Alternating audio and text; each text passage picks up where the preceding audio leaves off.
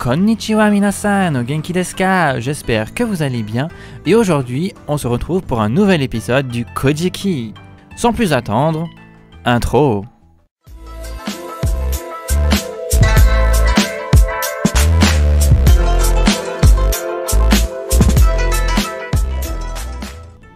Pendant quelque temps, Susanoo fit battre des tempêtes autour de l'archipel par rage, mais finit par se calmer et se mit même en quête d'un lieu paisible où s'établir. C'est alors en province de Izumo, qui retint son attention, qu'il se posa pour marcher parmi les hommes pendant quelque temps sans but. Bientôt, il s'arrêta devant la maison d'un couple de personnes âgées avec qui vivait leur fille. Il avait remarqué une certaine tristesse sur le visage de ces trois personnes qui pleuraient à chaudes larmes. Il s'approcha alors de ces personnes mais puisqu'il était un être divin, plus grand et plus fort, chacun de ses pas firent trembler la terre, ce qui effraya quelque peu les habitants de la maisonnette. Après les avoir rassurés en leur disant qu'ils n'avaient rien à craindre de lui, ce qui confirma à ceux qui purent en être témoins que le dieu avait vraiment changé de comportement et qu'il avait en quelque sorte mûri. Leur demanda alors pourquoi ils étaient tous si tristes, les terrestres lui répondirent qu'ils étaient apeurés par le sacrifice de leur dernière fille qu'ils devaient donner en pâture à un dragon à huit têtes et à huit queues nommé Yamata no Orochi, le grand serpent des huit embranchements, à qui déjà ils avaient offert chaque année en sacrifice une de leurs sept autres filles. Susanoo, charmé par leur dernière fille et aussi attristé par l'affaire, se décida à aider les vieillards à condition qu'ils leur donnent en mariage leur dernière fille se nommant Kushinada Hime. D'ailleurs, cette dernière, en regardant d'un peu plus près le Kami, succomba elle aussi à son charme et voulut l'épouser de suite. Le vieillard et sa femme acceptèrent avec grande joie. Dès lors, Susanoo transforma la jeune femme en peigne qu'il déposa délicatement dans ses cheveux.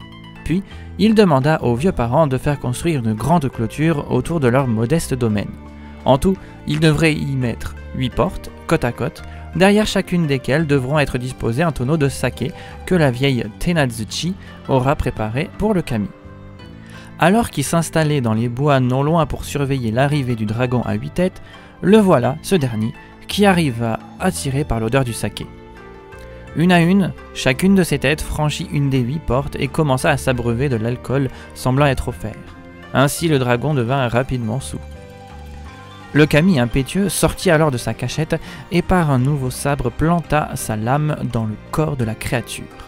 De la blessure s'écoulera alors une grande quantité de sang qui, dit-on, fit rougir la rivière non loin pendant au moins toute une journée. Cela étant dit, Susanoo ne s'attendait pas à ce que son sabre neuf se brisât en trois morceaux. Heureusement, un peu avant que cela n'arrive, il trancha l'une des queues encore mouvantes du dragon. Mais alors qu'il avait déjà gagné une femme et la mort d'une sinistre créature, il entrevit dans les chairs de la queue du démon quelque chose qui brillait et qu'il s'empressa d'aller écarter des chairs pour y voir plus clair. Ce qu'il y avait dans cette queue de dragon, c'était un immense et magnifique sabre qu'on nommerait par la suite Kusanagi no Tsurugi, sabre coupeur d'herbe et qui deviendrait l'un des trois régalias du pays nippon avec les joyaux de l'arbre et le miroir utilisé pour faire sortir Amaterasu.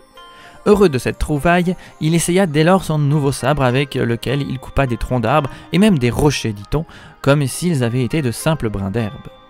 Il pensa dès lors que la trouvaille de ce sabre pourrait lui permettre de retrouver l'amour de sa sœur.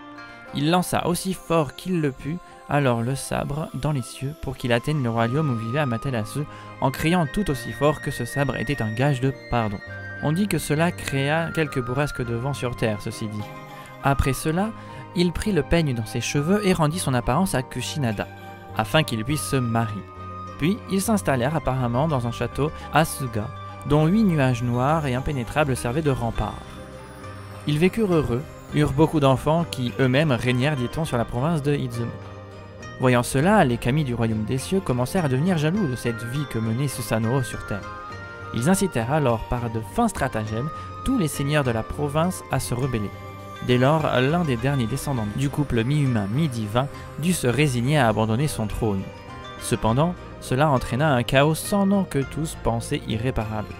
Certains humains redevèrent des bêtes, d'autres se tournèrent vers les Camilles en les suppliant de les aider à redonner une certaine paix et un chef à la province en proie à la débâcle. Et bien que cet épisode soit plutôt court, on verra effectivement dans le prochain épisode ce que Amaterasu enverra ou qui elle enverra au Japon afin d'unifier le pays. Voilà, voilà, cet épisode est déjà terminé. J'espère qu'il vous aura plu et vous en aura appris plus.